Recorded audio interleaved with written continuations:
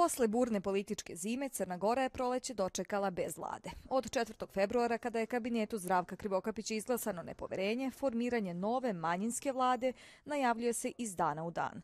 Spekuliše se resorima i imenima, ali i dalje bez konkretnih predloga mandatara. Konkretan u podršci manjinskoj vladi je DPS.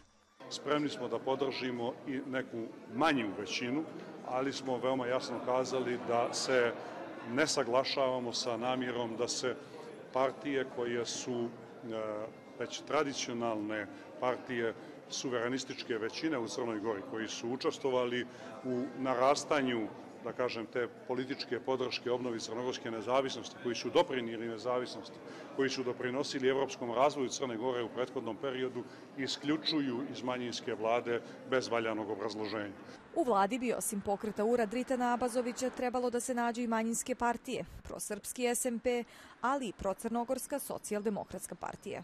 DPS je sve nekako e, osioniji i direktniji u svojim izjavama i čak da nameće neke nove principe kao što je učešće e, socijaldemokrata u vlasti. Sada, ko ne prati pomno političke procese u Crnoj Gori, možda ne, ne zna ko su socijaldemokrate, ali to u pitanju jedna mala satelit stranka DPS-a, čije bi prisustvo u vladi značilo da Đukanović i na najdirektniji način E, kontroliše sve što se u toj vladi dešava. Kada je odlazećoj vladi izglasano nepoverenje, poslanici Socijalističke narodne partije napustili su sednicu Skupštine. Sada njihov lider Vladimir Joković pregovara o učešću u Abazovićevom kabinetu. Iz političke kombinatorike na samom početku isključen je Demokratski front. Dritan Abazović i Vladimir Joković uvače državu Crnu Goru u jedan opasni eksperiment koji ne može završiti ni na koji drugi način osim ozbiljnom destabilizacijom, podjelama i nasiljem u Crnoj Gori, ova vlada Drita Nabazovića će biti između Čekića međunarodne zajednice, prije svega Sjednih američkih država Velike Britanije, koji traže